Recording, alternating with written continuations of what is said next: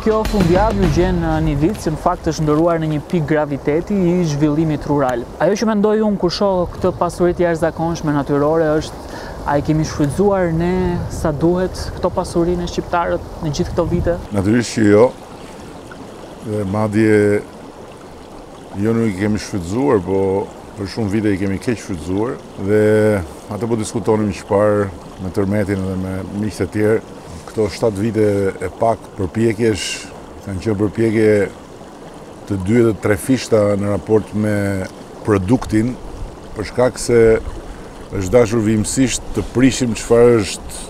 bërë gabim e çfarë është bërë keq edhe të risistemojmë, siç ndodh me Kalanë e Ali Pashës, një aset fantastik, asnjë vend nuk do t'ia kishte lejuar vetes që ta abandononte dhe ta linte të abuzuar dhe të keqshfrytëzuar. Por ajo që sot është e qartë dhe e prekshme, është se faza embrionale e një zhvillimi të qëndrueshëm dhe e një ekonomie që do të fuqizohet vijimësisht përmes pikërisht shfrytëzimit të kësaj pasurie, ka filluar të japë ato shenjat e para. Janë sot që flasim njëmbëdhjetë shtëpi të rindërtuara, Janë gjashtë kërkesa për projekte të reja agroturizmi dhe janë edhe 27 kërkesa të tjera në bashkinë e Tepelenës për rindërtime të tjera. Në një vend ku deri dje ta falin shpinë faktikisht për të mos e lënë të zhdukej fare ose ku mund të blehej me për një për një copë bukë i thonë. Sot është bërë pothuajse e pamundur që Të blesh një shpi, domethënë një rrënojë të një shpie, sepse të gjithë i kanë tani më sytë tek e ardhmja dhe emigrantë që po kthehen, apo që investojnë këtu. Po. Këto investime të reja, ka pasur një projekt shumë ambicioz, i 100 fshatrave, ku përfshihet edhe Nivica, a kanë ngjallur mjaftueshëm interes të shqiptarëve që jetojnë jashtë kufive për t'u rikthyer në zona si Nivica që mund të jetë edhe vendlindja e disave dhe për të investuar. Shenjat e para janë të qarta dhe të prekshme. Unë jam i bindur që në këtë dekadë ku kemi hyrë do të jetë një zhvillim eksponencial në këtë drejtim, sepse ne kemi zhvilluar një projekt vizionar infrastrukture për të gjithë këtë zonë, dhe faktikisht Tepelena, së bashku me gjithë pjesën këtu sipër, Është bërë nga një xhep fallco ku nuk kthehej njeri, po të gjithë iknin anash dhe ata që ishin këtu më shumë iknin se rrinin, ndërkohë që ata që vinin ishin ata që vinin për të vizituar të afërm, në një qendër graviteti të një zhvillimi që praktikisht përmes infrastrukturës bashkon të gjitha pikat brenda një perimetri që Prek Gjirokastrën, Përmetin, Vlorën, Himarën dhe faktikisht me mbarimin e rrugës drejt poshtë dhe Himarës në Qeparo Borsh aty që del nga Nivica lart janë vetëm 40 minuta, 40 minuta Për të qenë në plazh dhe për të qenë në mal, për të qenë në diellin e nxehtë dhe për të ardhur këtu dhe për të fjetur me batanije edhe në mes gushtit. Meqë më folët për projektet infrastrukturore, mësova që gjithashtu do të inspektoni disa punime për segmente shumë të rëndësishme, arterie shumë të rëndësishme si rruga që lidh fshatin Salari me Nivicën apo segmenti Gusmar Kuç. Çfarë ndikimi pritet të kenë këto investime në funksion të turizmit malor në këtë zonë? Ndikimi do të jetë shumë i madh. Këto shenja të para që ne i shofim qartësisht tani në atë që po vjen si rezultat i i krijimit të interesit tek njerëzit janë shumë domethënëse. Dhe nëse sot njerëzit kanë filluar të rindërtojnë shpitë e vjetra, apo kanë filluar të bëjnë projekte për të bërë agroturizëm, kur ende kjo infrastrukturë nuk është krijuar, nesër do të jetë absolutisht një perspektivë e shkëlqyer. Dhe për shembull në Nivicë është një investim fantastik për nga koncepti për nga qasja krejtësisht ekologjike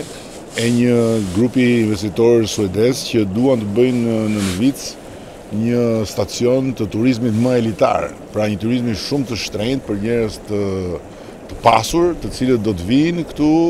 edhe do të konsumojnë këtu edhe do të bëhen këtu pjesë e një komuniteti dhe qasja jonë prej, prej 7 vitesh E pak që jemi në qeveri ka qënë qasja e akupunkturës, pra të, të tamam si akupunktura, ku duke prekur një pikë dhe duke prekur një nerv, dhe duke kombinuar pikat që preken, krijon një energji të re në të gjithë organizmin. Ekzakt, ju keni arritur ta ndjeni këtë lloj energjie të re. Ju jeni njeri i terrenit, udhëtoni shumë, ëh, edhe sot di që keni një axhendë shumë ngjeshur. Njerëzit që takoni, çfarë mesazhesh ju japin?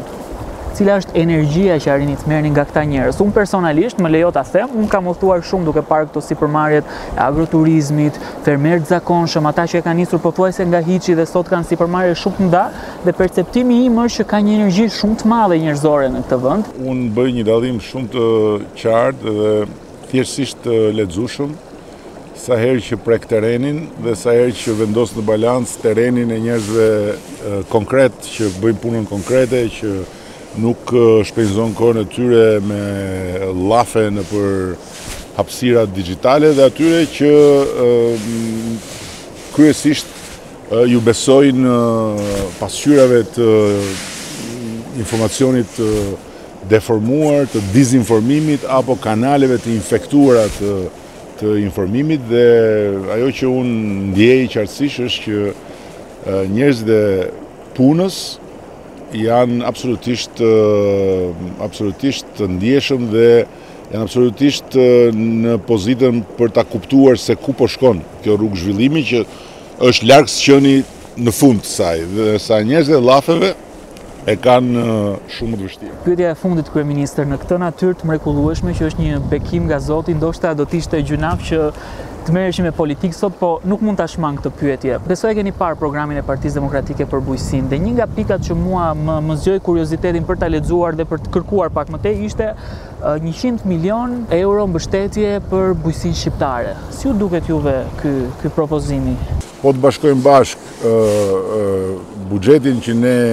japim nga arka e shtetit dhe buxhetin që ne kemi arritur të thithim falë mirorganizimit tonë nga programet europiane, shkojmë pak a shumë në të njëjtën shifër. Nga ana tjetër, programi i programi i Partisë Demokratike është faktikisht një menu për të ofruar të gjitha pjatat imagjinare për të gjitha kategoritë e njerëzve dhe për t'i bërë të ëndërrojnë një gjumë me gjellë pasanikësh siç thuhet tek Lulëkuqet mbi mure mos gabohem kështu që besoj që Shqipëria reale, Shqipëria e njerëzve të punës është shumë më e madhe se sa Shqipëria virtuale dhe e njerëzve të llafeve dhe të pjatave bosh në gjumë, e prandaj është një program i cili do të, do të mbetet njësoj si ato pjatat bosh që faktikisht nuk do të shfaqen kurrë në asnjë tavolinë. Falenderoj shumë, edhe rrugë të mbarë.